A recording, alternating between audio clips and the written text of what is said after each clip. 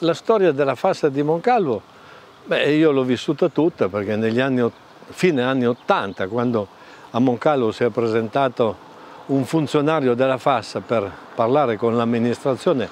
per impiantare in Moncalvo una cava, eh, io mi sono preoccupato.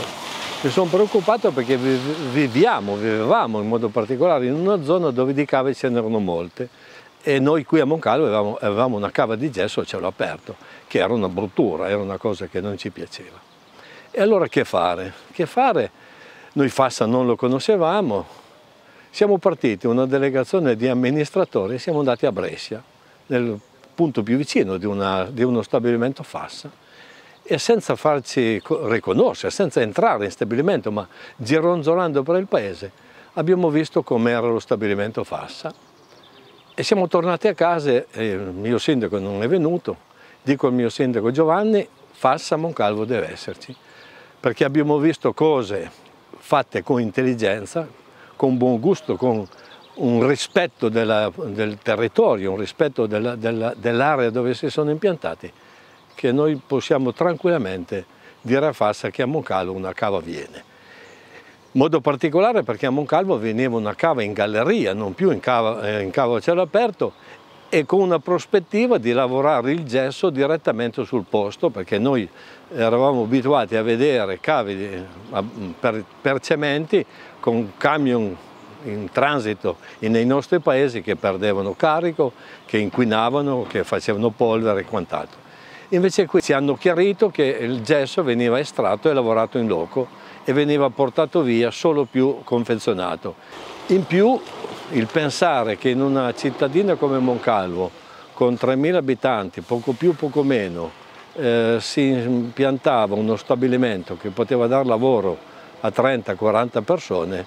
possiamo fare un rapporto che come avere 2.000-2.500 lavoratori in uno stabilimento nuovo a Torino pertanto era una ricchezza per questo territorio, dove sfruttavamo un, um, un materiale che solo qui c'era, non potevamo dire vai a impiantare il tuo stabilimento da un'altra parte perché il gesso è qui. E se in questa zona si chiama frazione gesso vuol dire perché qui c'era il gesso da sempre e pertanto siamo andati avanti.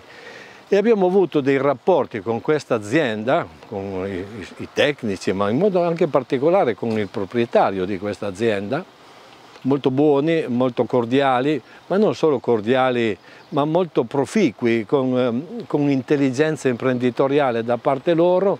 e se mi permettete con una, una visione da parte di questa amministrazione che vedeva in questo stabilimento un futuro per questa per quest'area. E così siamo andati avanti, prima con la cava, poi con lo stabilimento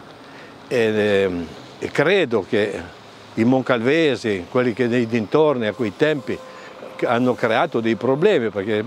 noi come sempre quando c'è qualcosa prima di documentarci parliamo, invece dovremmo imparare a documentarci, a ragionare, a fermarci un momentino e poi magari anche a criticare, ma prima documentarci perché se non ci si documenta si dicono tante stupidaggini.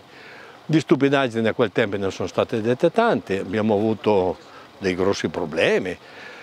però noi testardi come siamo i piemontesi, noi monferrini, eh, ed eravamo convinti della nostra scelta, perché eravamo convinti e siamo andati avanti e, e ora quelli che a quel tempo ci hanno criticati o comunque ci hanno reso la vita non facile, ecco, sono con noi e sono felici che questa azienda possa continuare a lavorare